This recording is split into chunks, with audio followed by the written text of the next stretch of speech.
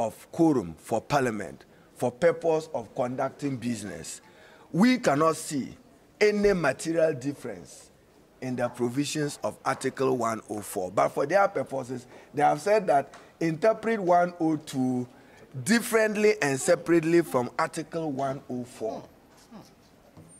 They ought to know that Article 102,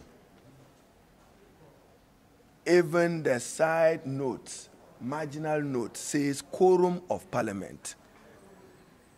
The judiciary of Ghana is also failing Ghana's parliamentary democracy in their inability to appreciate the true meaning of Article 110 of the Constitution that Parliament shall, by standing orders, regulate its own proceedings.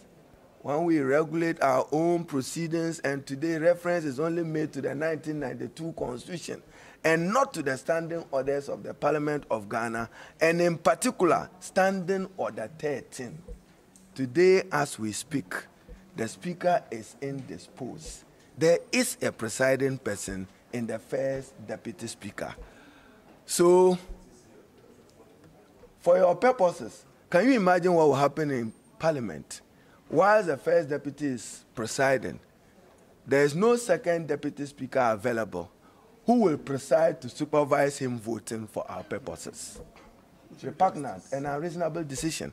He is presiding, so where he is presiding, and the second deputy speaker, for some purposes, is not immediately available in the chamber, he will walk down, vote.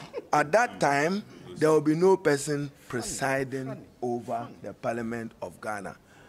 This is a judicial support for President Nana Addo Dankwa's e-levy that he is laboring to pass.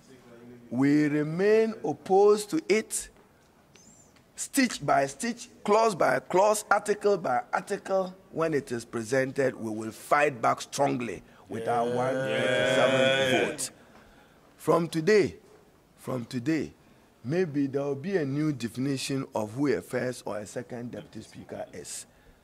Maybe maybe they don't deserve us according them the offices they occupy. Maybe that is what the Supreme Court is ruling. We will just recognize them as MP for Fomena and MP for Bekwai. Nothing more. I thank you. Yeah.